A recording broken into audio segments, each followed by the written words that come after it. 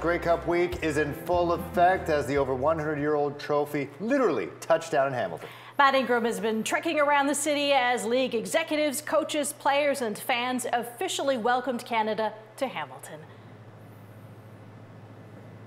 Taz, it was quite the spectacle today over the skies of Hamilton. I'm at the airport where two military Sorry, helicopters took up with the Grey Cup and did a fly across the city over Tim Hortons Field. A lot of people obviously saw it before arriving at Bayfront Park to cheers and Oskee wee wees. Everybody really enjoying this very special moment for our city.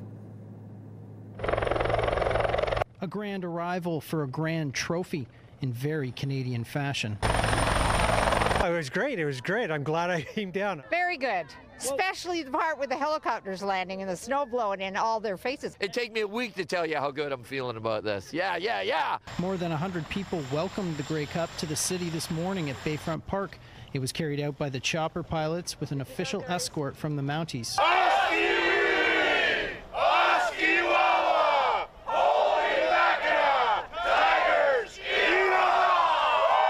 Ticat owner Bob Young matched the fans' excitement. As excited as I was in 72.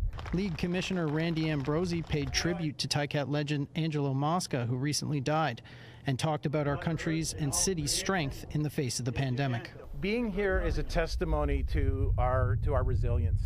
It's a testimony to our perseverance, and and and in this city, uh, it's a testimony to your toughness as well. The importance of this Grey Cup to Hamilton was a sentiment echoed by the leader of the official opposition, who says it's coming at a good time. It really pulls everybody together, uh, helps us remember how resilient and strong we are as a community, uh, and gives us something to celebrate and have fun about because people have gone through some hard times. This morning's dramatic arrival kicks off a week of festivities here in Hamilton, all leading up to the big sold out game on Sunday. Crews were at Tim Hortons Field today, continuing to prepare for a game head coach Orlando Steinauer says Hamilton deserves. It's long overdue, but uh, we're kind of not worried about the past and just excited for the game on Sunday. This afternoon, he and a few Ticats spoke at the Warplane Heritage Museum ahead of the arrival of the Winnipeg Blue Bombers. What better way would you want to play a Grey Cup in front of your own fan base? Um, like Coach said earlier, I think the fan base definitely deserve it. This is great for the city, just especially all the small businesses and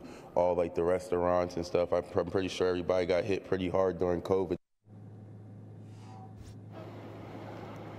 Just in the last hour, the Winnipeg Blue Bombers playing touchdown here in Hamilton, the team arriving. A few came out and spoke with the media at a press conference inside the Heritage Warplane Museum where the Ticats spoke, and the rest got on the bus and headed to the hotel. So the teams are here, the cup is here. All that's left is for Sunday, on Sunday, the Tiger Cats eat them raw.